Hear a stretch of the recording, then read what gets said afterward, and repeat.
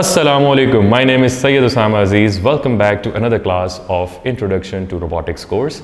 In today's class, I am going to assemble the robot chassis.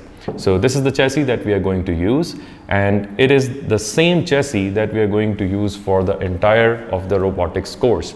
And we will make four types of robots using this same thing.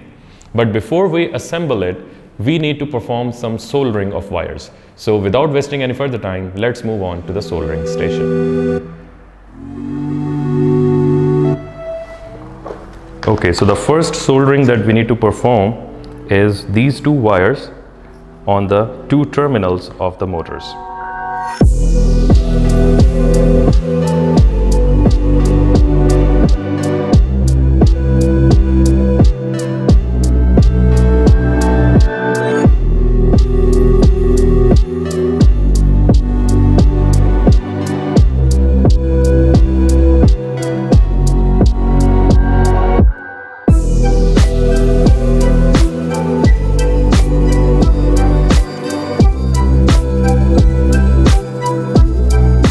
Okay, so we have soldered the wires on the DC motor. Now the next step is to connect them with the chassis with the help of these motor mounts.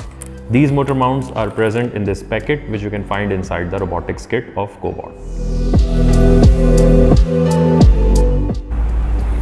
Okay, so first we need to insert this mount in this slit on the chassis like this. Then we need to use that second mount and connect it with the motor put this screw in it like this and then attach it onto the chassis like this. And now simply put this nut on the other side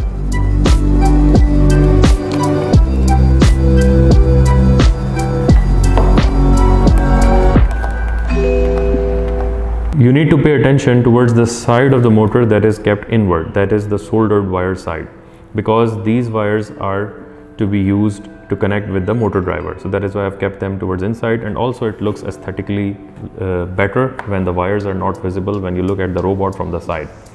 Secondly these screws their head is towards uh, towards the outer side and the nut is towards the inner side and the main reason is that we have to connect the wheel here so that uh, we do not want these two things to interfere with each other. That is why we have screws facing inwards.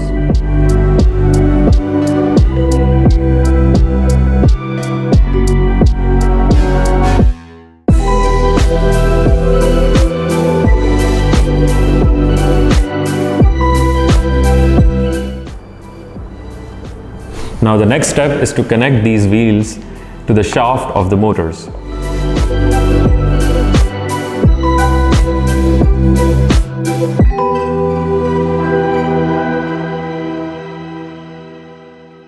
Now in these type of robots, we do not have any steering to turn the robot.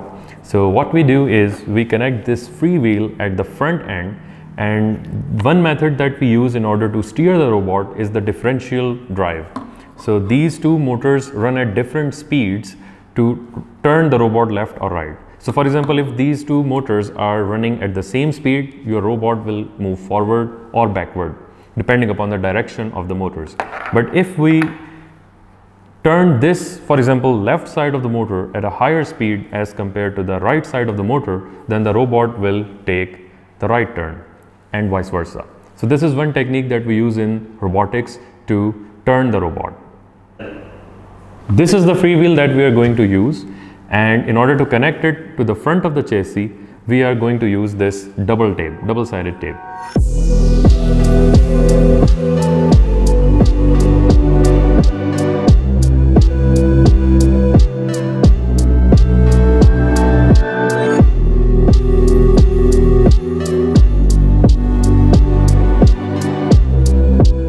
Finally, the last step is to connect this battery holder onto the chassis. But before we do that, I want to show you this switch button that I have soldered on the positive side of this battery holder.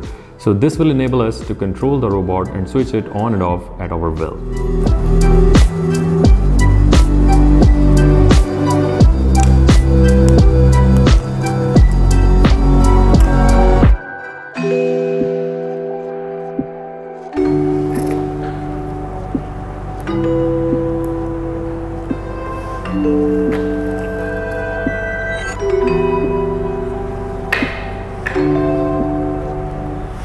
So in this video, we have connected the DC motors alongside wheels. We have also connected the battery holder with a switch button and these two are the wires coming out of the DC motors. These are the wires coming out of the battery holder.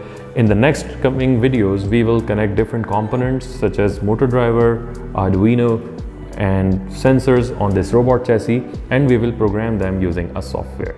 So this is the end of the video. Here I would like to request you to please press the subscribe button. Also like this video if you are interested in this type of content. So let's meet into the future video. Till then, Assalamu alaikum.